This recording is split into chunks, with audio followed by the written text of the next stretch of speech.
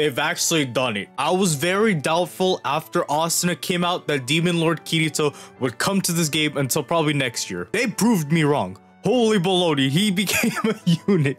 Let's go, he looks so cool. I'm very surprised. So the third week for an April Fool's event. So Grand Quest Fantasy 3, Advent of the Demon Lord. God, I'm so excited for him. And it's weird because the event that he goes with is Rondo of the Fragile Blade again, you know, progressive. It's ain't even progressive.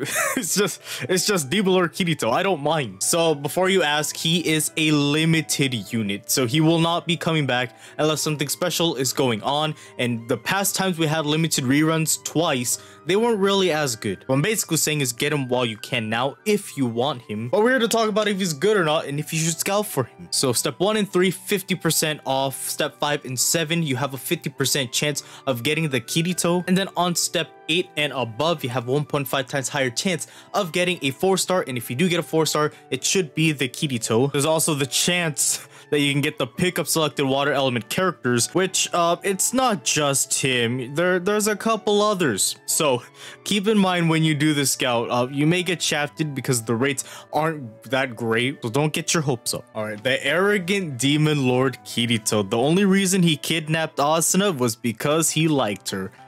That's it. Anyways, 2,550 attack. That is high. But I think the highest a character has is 2,600. So he's very close to having one of the highest damage in this game. Plus, he's also, he's decently fast. 316 speed. That's pretty good. Now, he's a break and assault and a charge unit. He's a back unit. So it kind of makes you wonder, does he have a break stack or does he have a charge stack? Or maybe both? Well, I'll just tell you now, he only has a break stack, but we'll look at that later. So anyways, his break, a strong slash attack, raises attack and crit by 10% for two turns and typical break stuff. Now we'll, we'll talk about the assault uh, after I talk about charge real quick. Now his charge is a strong slash attack while also doing the same buffs, raises attack and crit by 10% for two turns and then the typical charge stuff, except it's 18.5%. Is that normal? I mean, no, Yu-Gi-Oh, no, you're, you're losing like 1.5% charge. A little bit of a stinky charge right there. Lose out 1.5%. That's important. So anyways, there's a reason why I skipped this all until now. So slash attack. Extra strong already. He's not an enhanced mode unit, but imagine if he was enhanced mode. Look at these buffs. So his damage will increase by 15% if your attack buff is 15% or more and then an additional 15% when your buff is 30% or more.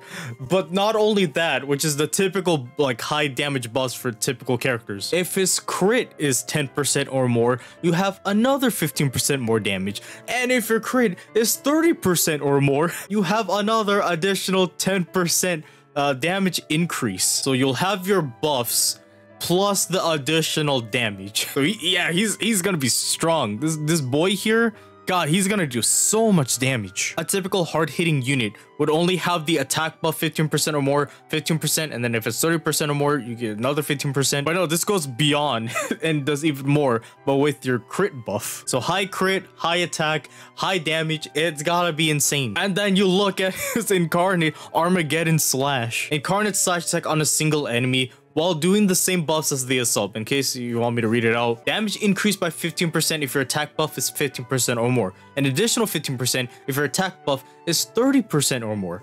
And then a damage increase by 10% when your crit buff is 50% or more, and then another additional 10% when that crit buff is 30% or more. So yeah, he's gonna be scary. He may not be in enhanced mode, but these buffs sound insane. Now, I'm just very curious to see how much damage he'll actually deal with everything going on. Now, with his Imaginariums, uh, he's increasing more attack for an unlimited amount of turns, increasing crit damage by 50% at the start of the battle for two turns when there's fire element enemies. They're making up for the lack of water. God damn, this boy is strong. Now, special partner is Asuna. You can't tell me that next week is going to be another Asuna water. Let me guess, same outfit, different element. He'll start the battle with 25 percent extra incarnate at the beginning of the battle when there's a fire element enemy, and then increase attack of all water element party members by one with his member skill. And of course, he'll have his incarnate combo, and like I mentioned earlier, he has break stack, so he does not have charge stack, which I don't really mind. I mean, if I use the season pass Yui, she has a break stack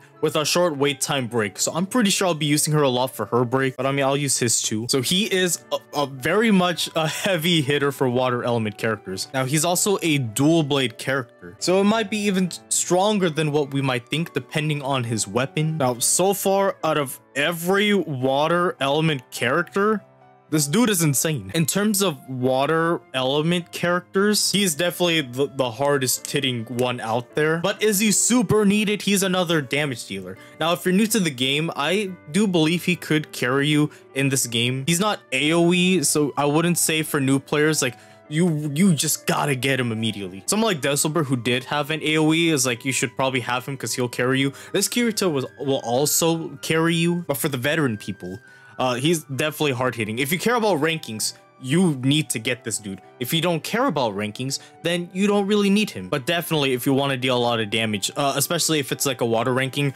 um, yeah, I would say you should definitely get this dude. Who knows when will be the next time we'll ever get a character like this. He's gonna fit nice here, somewhere. I, I don't know, but he'll fit nice somewhere. He's definitely someone to level 120. And I can already see who I'm getting rid of the team. I'm sorry, Eydis but I don't even think I'll use you. Because with the buffs, all I need is the Unital Ring Alice. The Unital Ring Alice is more of a summon that you should have because she has the recollection field, which is pretty nice. And also her attacks give buffs. I am going to need a, a charge stack unit but there doesn't seem to be one. Maybe the next week character. I mean, I guess some additional notes. Let's say you don't want the Kirito. I mean, if you have the the eye patch Eydis, I mean, she does deal quite a bit of damage on her own as well. Only problem with her, uh, she doesn't have break stack, but if you got the season pass Yui, I guess you don't have to worry about break stack too much because uh, she'll handle it for you, especially her other break. Now, all I'm hoping is that he gets the red eyes in battle. Probably not, but it would have looked hella sick. Anyway, I'm hyped up for this character. First time I'm actually hyped up about a character in a while. Thank you so much for watching this video of Sword Art Online Unleashed Blading. If you guys enjoyed, why not leave a like, comment, and subscribe if you are new. And if you want to join, I have a Discord at the bottom of the description. You click on that link and you're sent right to the Discord. But thank you so much for watching. My name is Kaz. Hope you have a fantastic day. And we are pulling that dang Kirito tomorrow. So I'll see you guys in the next video. Goodbye.